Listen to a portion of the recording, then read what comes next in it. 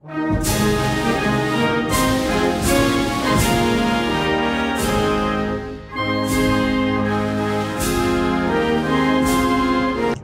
back everyone to another episode of the Scandinavia. So guys, last episode as you guys know, we are improving relationships with with the uh, Swahili and we're doing all this colonizational front, so it's, it's been a good day. So let's continue. Okay, we just got some more port provinces, more port provinces, that means a lot more conversion now, but at least there's not going to be as many rebellions. Let's see, how many more? And we're starting to get actual tax from those provinces, which is great. Start making those whores. Convoy is apparently one of those places. I've already converted. Okay. Just need a court now. So anyways, we are and I've just improved my relationship with Swahili to the utmost, so now what I think I'm going to do is I'm going to gain information. I don't really care about diplomatic power. I really wish I could get some more uh, admin power. Seriously, we need some serious admin points. Um, how is our next heir looking in terms of admin points? He's a 3-2-3. That isn't the best leader in the world, but it's not the worst. So, yeah, that, that's basically how you have to take it. Um, once my diplomat comes back to my land, okay, go back to Swahili. Let's see, how close are you guys to actually let's see, you guys, I'm pretty sure I can convince you guys to, uh, to, uh, give up your negativity with us. If I give you guys, cost, it'll improve our relations by 6. 300 gold. Are they worth 300 gold? Well, considering I am going to conquer them back, Wait, can I just like colonize this? No, I cannot. I'm really going to have to use these guys. So, let's see. Send a gift. 300 gold. 300 gold. I'm really trying to get you guys to like me, so you guys better not backstab me. Okay, let's go send this right here. Gosh, we're almost done. I'm almost done with all this colonization. We are so stupidly close, it's not even funny. Oh gosh, so stupidly close. When I get done with this colonization fund, I'm gonna be so happy. Okay, lose stability, we've had so many good modifiers recently that it's finally good that we finally got something bad. Let's see, we got some kind of event happening with this and maintaining shipping routes, so tariff efficiency at least 100%. What's our tariff efficiency right now? Tariff efficiency 46%. Now it's just protecting the sea lines for 41 policies given in effectiveness of hmm. so basically that means I'd have to send more ships. Incorporate... Oh! Ooh, yes, let's do this event. Because then this also helps speed up my my annexation of Hodenstein, which is taking so very long. Okay, seems like these guys want to go deal with fighting. Oh no, they left. Wow, they just instantly left. They didn't even like stay for tea or something. And looted province, that's kind of sad. I don't even think I looted these provinces. That must be the that must be the natives, because I did not loot the provinces. I refused to loot provinces, and I sent that diplomat over there, so Swahili, you guys should like me a lot. Let's see. Okay, maybe what I can do is ask for military access, get that, and then kind of build up a relationship with these guys. I'm not gonna... Okay, yes, okay, so now we got that done with. Let's keep converting more provinces, and let's see, let's make sure that are we almost all done with our, um, where is it? There we go. We're almost all done with our coin. Almost. We still just got a couple more provinces and then we're done. Anyways, Swahili, come on guys, you really can do this. You really, really, really can do this. I'm just trying to get military access so that I can invade you. Okay? That's basically where we're at right now.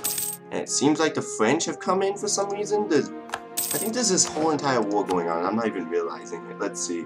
So France is at, so let's see. You're at war with the Livonian Order. France cleaves Bavaria. Yeah, you you guys are in a very serious war right now. This is like war between opposite fronts right now. That's going to be a pretty heavy war. And we're just getting convoy. Okay, and I just got my diplomat back. So let's see. Oh, gosh. How can I delete this? Neutral attitude towards Scandinavia. Oh, I hate you guys so much. Okay. um... trying to think here. What else could I do to like improve? Uh, just not. I just don't think they're gonna actually proclaim guarantee. Maybe. Oh wait, no, no. Don't want to do that. Offer an alliance. I know if I got an alliance with them, they would probably like say yes, but I don't want an alliance with them. I just want to use them. Uh, maybe France was. No, France is never gonna say yes. I need some colonies over there. I can't get over there. Okay, you know what? I'm gonna have to do. I think what I'm gonna have to do is I'm definitely gonna have to like, see if I can like claim guarantee. Maybe is that gonna get you guys? No, you guys are still not going to. Oh gosh. Well, I guess the second strategy I could do is just go invade like. I could just go invade the Mamelukes and then just like steal their land. See if I could do that. Maybe that would help. It seems like we got a new tech or a new idea group we can go into. 360 admin power for that? No. No way, no how. We need to keep our admin tech. Seriously, we need to like keep upgrading that stuff. I mean, next time we get it, we'll be able to get a new ideas group. Which I think what I'm going to go for is either expansion or diplomacy, depending on my mood. Because I do think we do need to get some more expansionist ideas, because we're kind of playing off like we're kind of playing the expansion role right now. We want to be very much expansionist people. So it's a very good idea that we get that all settled down. Let's see, we have three colonies right now going. Oh great. Two of them are about to finish though, so that's good. Colonel, colonization, uh, venues, whatever. Doesn't really affect me either way, honestly. So, damage my colony, damage my colony. Mm. Looted, that's not good. I didn't know that province was looted. Um, conversion successful. Wow, we're just just knocking these all out. Alright, let's see. Uh, Aztec. You know, we can keep the Aztecs. Maybe what I'll try to do with the Aztecs is just try to casually adopt them into my culture.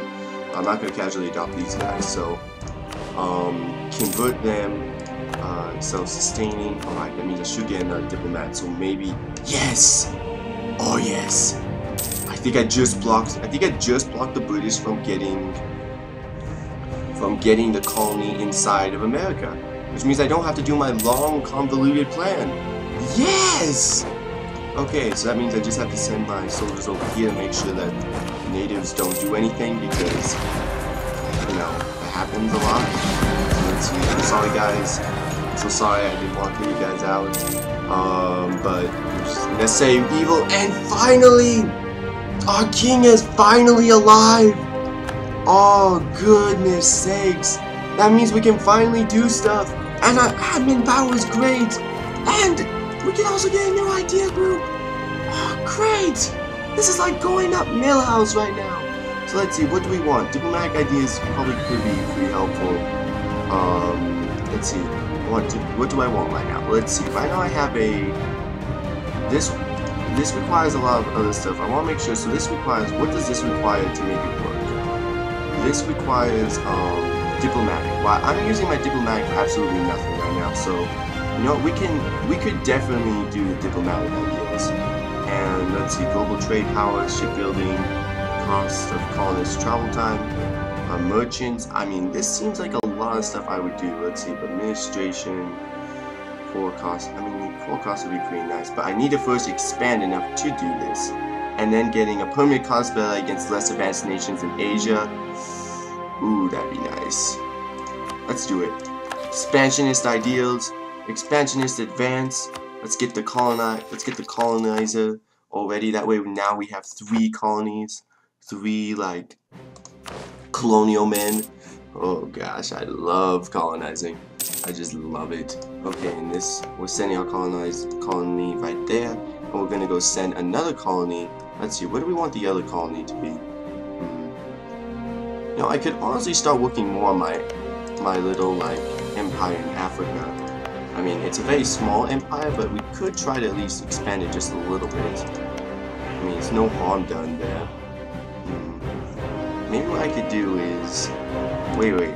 What if I built a dock here? No, not a ship. Buildings. Let's build a...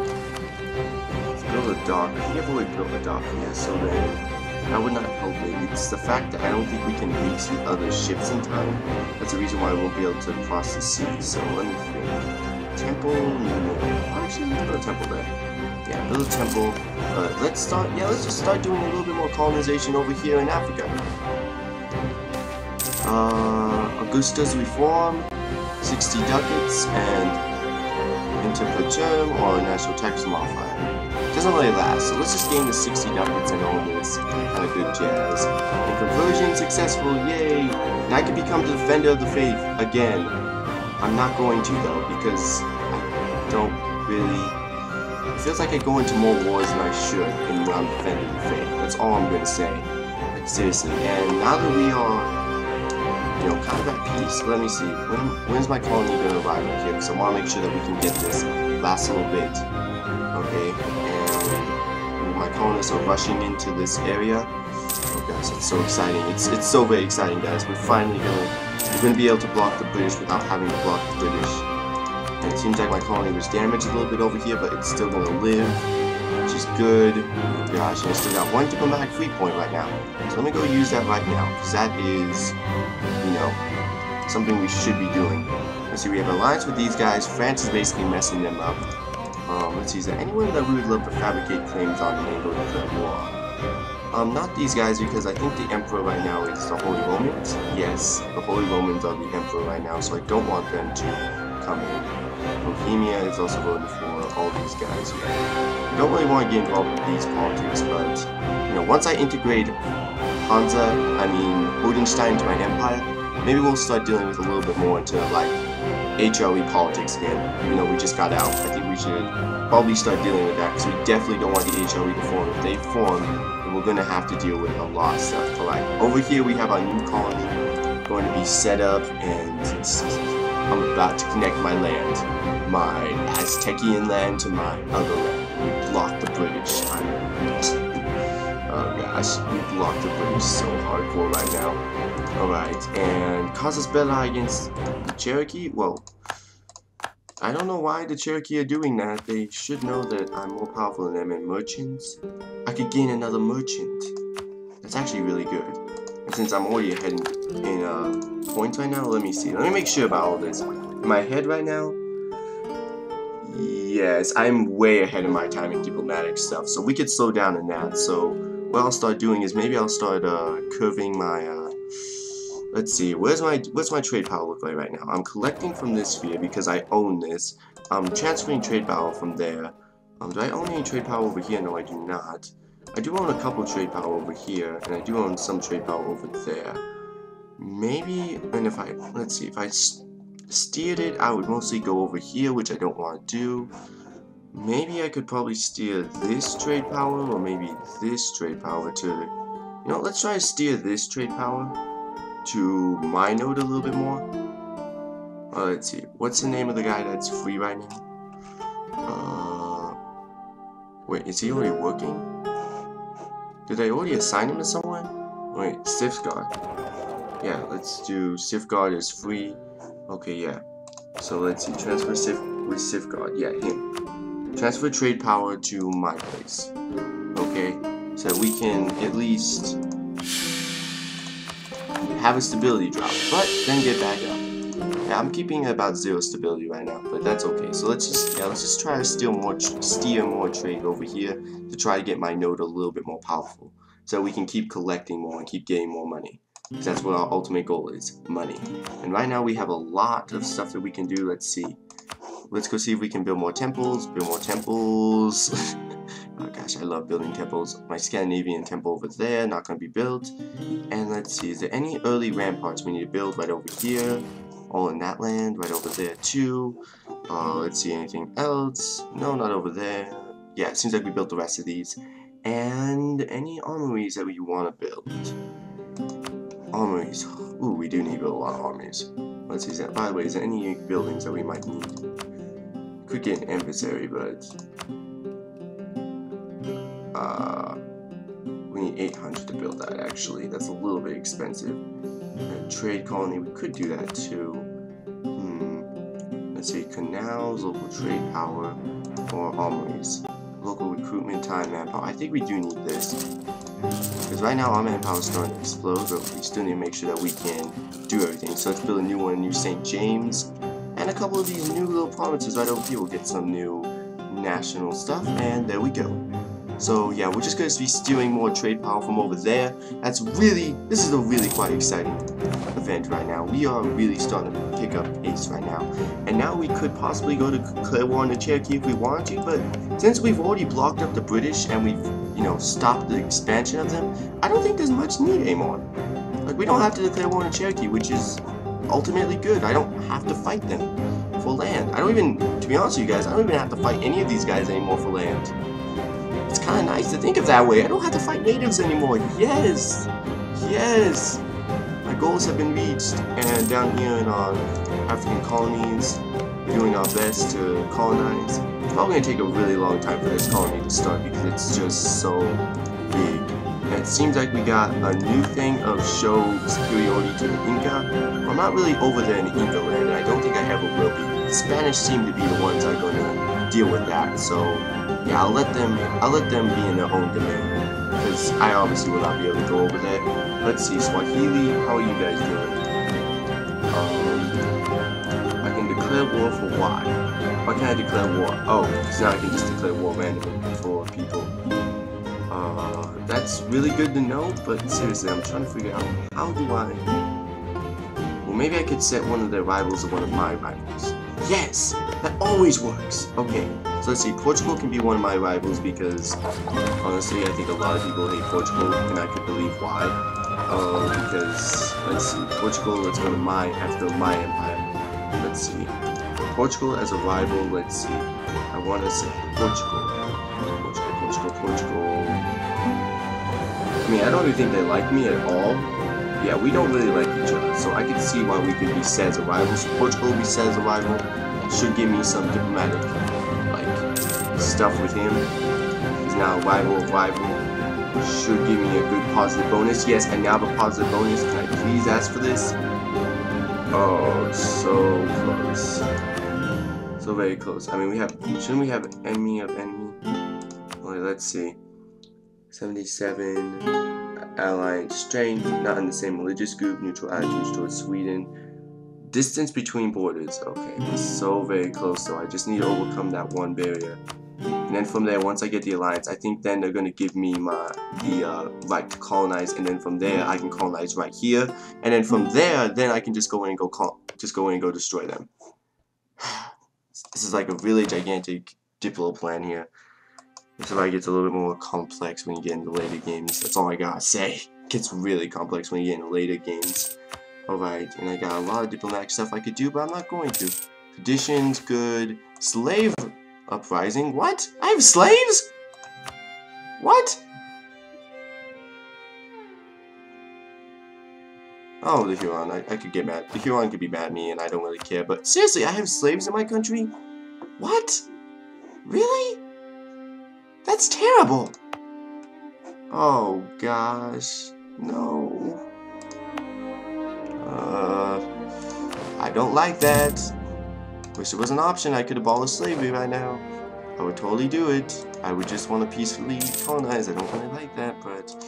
Alright, let's see. Oh no, my colony was damaged. Ah, dang it. It seems like this colony is probably not going to go out without a fight, so that means I'm probably going to have to, uh, legitly colonize, like, right next to it for it to work which does give me a good contract with the Portuguese, which is going to be nice.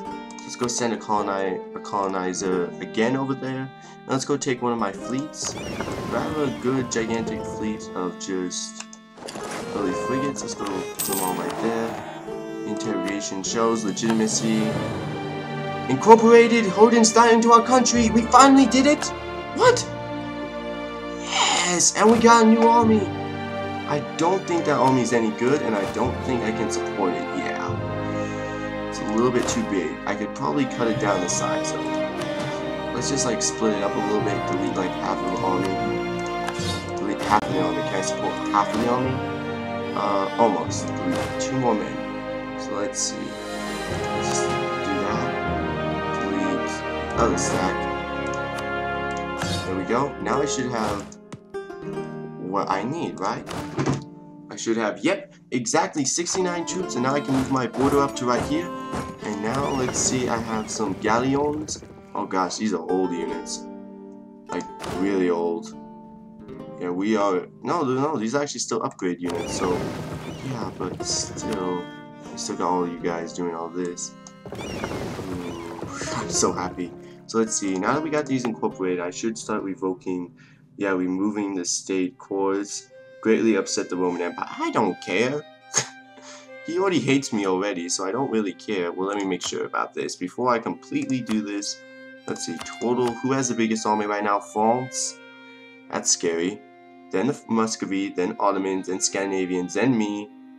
Yeah, I'm ahead of Austria right now. But right now, it's still no good. Oh my goodness, they have a stupidly amount of manpower, but they waste a lot of it. Muscovy also has a stupidly high amount of manpower. Uh, Spain also has a stupidly high amount of manpower, so do the Ottomans. Well, the Ottomans also in different tech groups, so I don't consider them actually powerful. So it's really only Muscovy, France, and me and Spain I have to worry about, but the rest of the countries I can deal with. So, you know what? No longer in the HRE. Yep. and revoke the cores here.